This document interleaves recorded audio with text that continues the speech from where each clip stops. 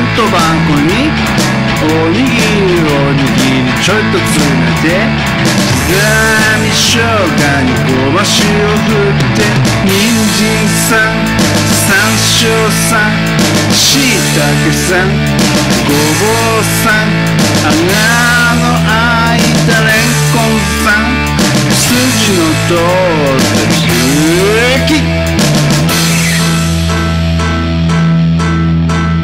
象の背中に針が落っこちた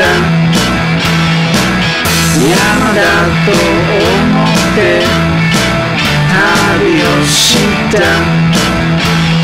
花の先まで歩いた。か元の山に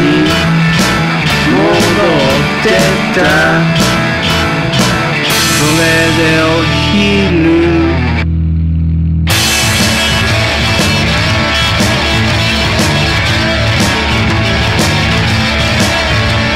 これくらいのお弁当箱におにぎりをにちょっと詰めて刻み生姜にごま塩振って人参さん山椒さんしいたけさんごぼうさん穴の開いたレンコンさん筋の通った空気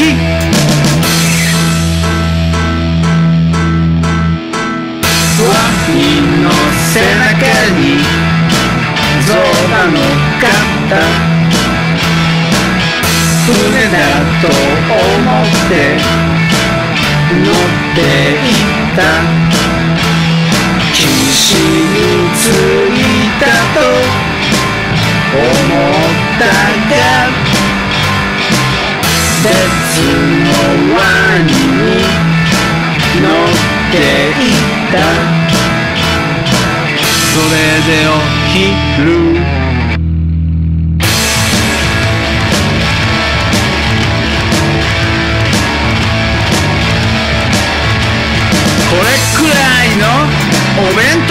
当箱におにぎりおにぎりちょいと詰めて刻み生姜にごま塩振って人参さん山椒さんしいたけさんごぼうさん穴の開いたレンコンさん筋の通ったルー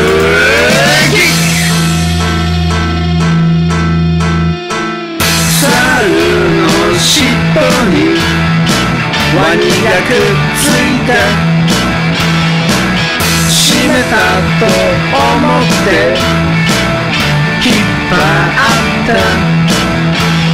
猿も負けずに。引っ張った。